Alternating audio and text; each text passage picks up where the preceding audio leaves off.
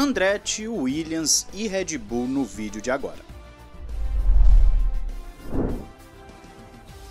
Olá amigo do Ressaca Fórmula 1, seja bem-vindo a mais um vídeo, eu sou Matheus Pucci, vamos às principais notícias, começando com Andretti.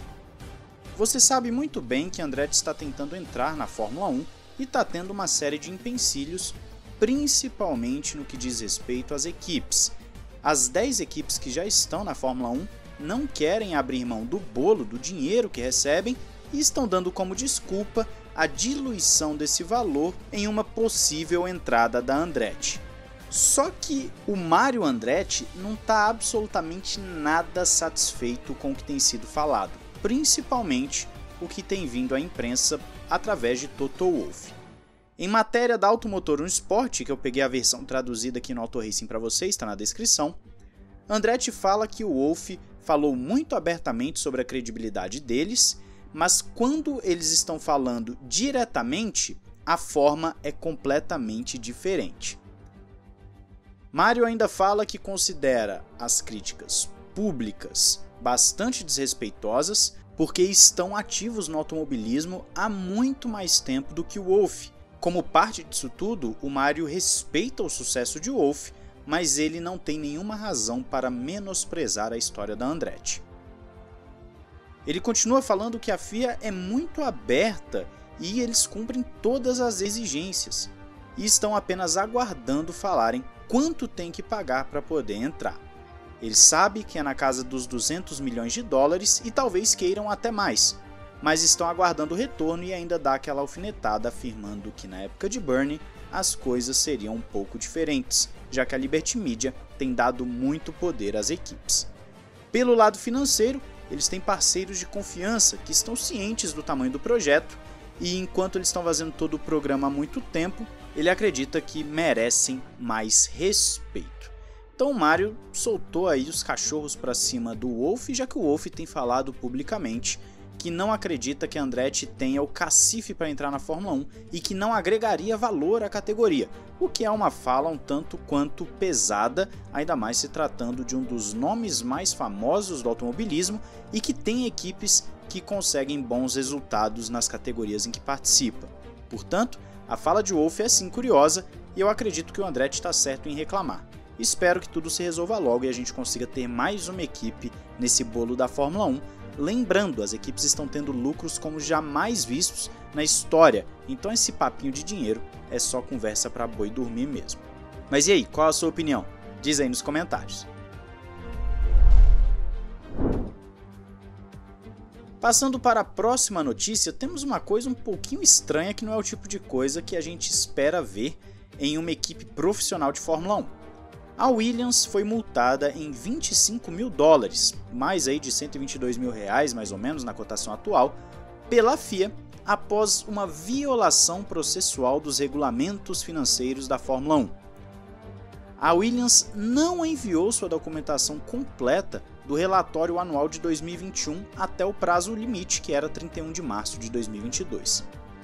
No final das contas, a equipe foi notificada em abril e eles colaboraram devidamente com a FIA para corrigir a violação, assinaram um acordo de violação aceito, que no final das contas foi traduzida em uma multa de 25 mil dólares. A multa é até baixa se você considerar que 25 mil dólares para essas equipes não é nada, mas é uma besteira, não sei se você concorda comigo, a Williams simplesmente não entregar ou passar do prazo para entregar a tal documentação.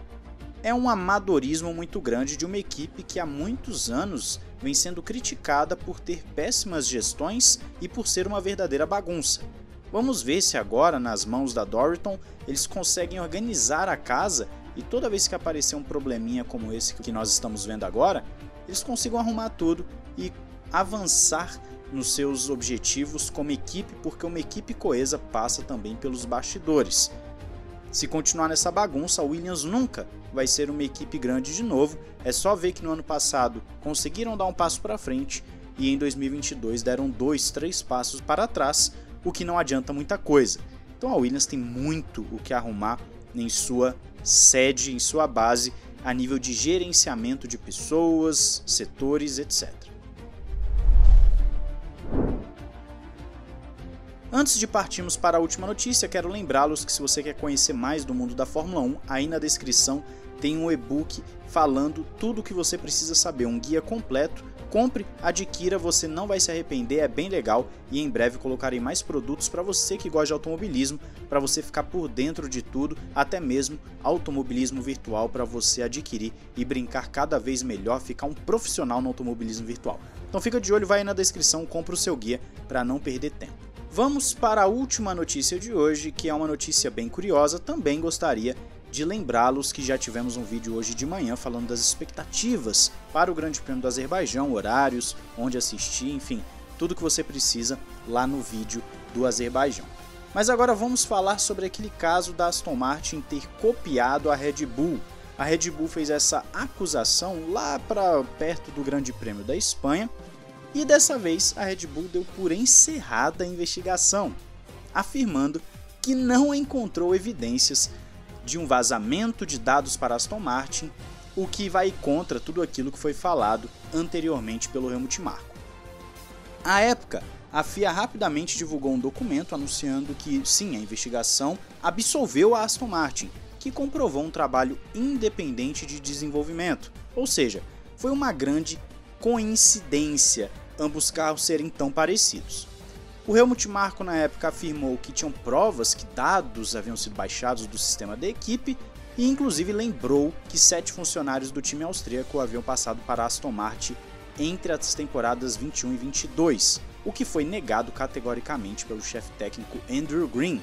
Só que em entrevista mais recente, Marco falou que eles não puderam provar nada concretamente e, na verdade, nem investigaram exaustivamente, porque a Aston não é um adversário direto e se não tem como provar de forma eficiente, é melhor deixar para lá.